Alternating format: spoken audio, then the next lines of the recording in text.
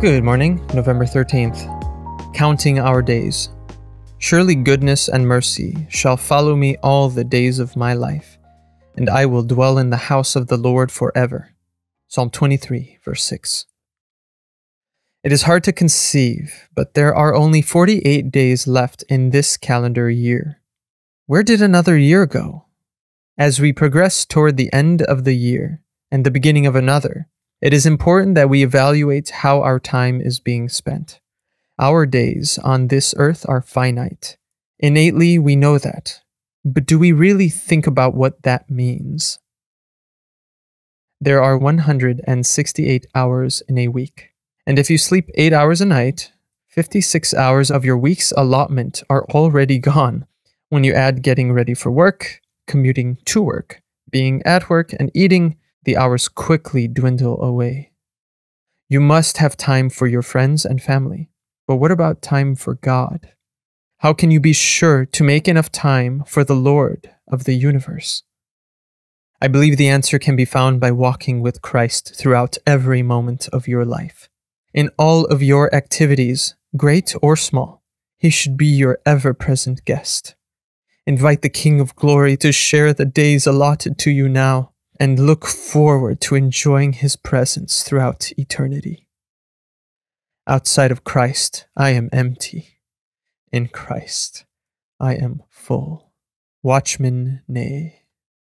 So, this is a pretty precious devotional for me because a few years ago, I actually asked the Lord what. And there was a certain psalm where he asked the Lord to teach him to number his days. And I prayed the same prayer over and over again when I was born again because I knew that time is short, life is short, and I didn't want to waste moments, waste them in darkness and sin and anxiety and depression. So I asked him to teach me to number my days, and I bought a planner. I started, uh, you know, taking my schedule into my own hands. I, I started actually writing in my calendars like I did back in school when we had to. But I started doing that again. I was about uh, either the end of my 20s or just turned 30 or something like that.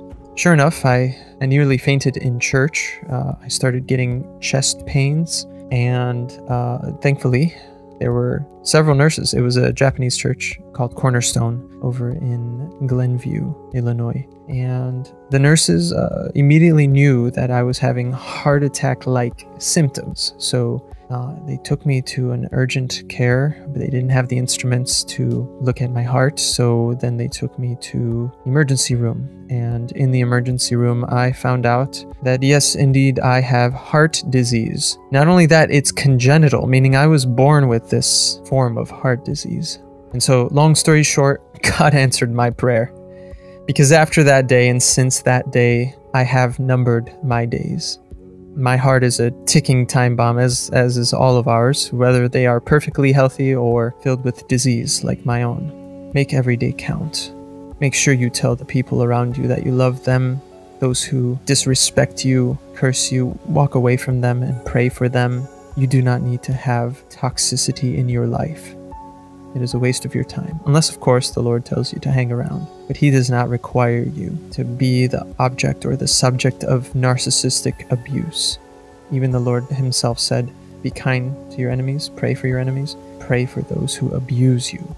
Now, prayer is a very personal thing. That means, in my opinion, that you don't have to be around those kinds of people. So, anyway, give your time to God, maximize each day with productivity for His glory. And God bless you on this journey. I pray for you that God would fill you with the knowledge of Him and that the Holy Spirit would lead you closer to be more like Jesus. I pray in Jesus' holy name. Amen.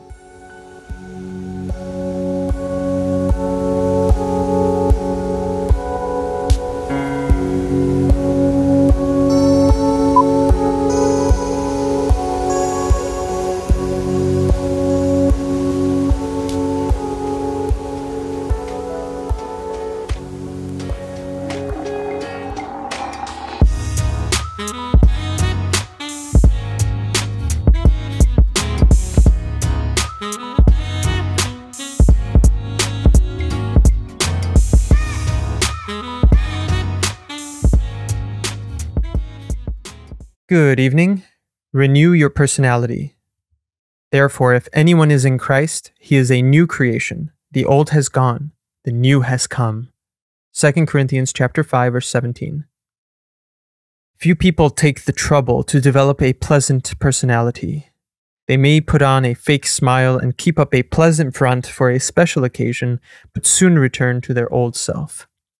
Many people believe that personality cannot change, but this is not true. If it were, the sacrificial love of Christ would have been in vain. History shows us that sinners can become saints, and that unlovable people can become pleasant when the love of Christ enters their hearts.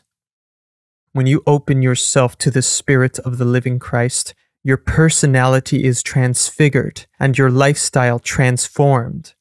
Your calling as a Christian is not merely to be a good person. Although that is what you will become, your first priority is to commit yourself completely to your Lord, and then your personality will be renewed. This will not happen through your own strength, abilities, and ingenuity, no matter how hard you try. When Christ gives you his power, the impossible becomes possible. Our personality yields to Christ's influence, and we grow into the likeness of our heavenly example.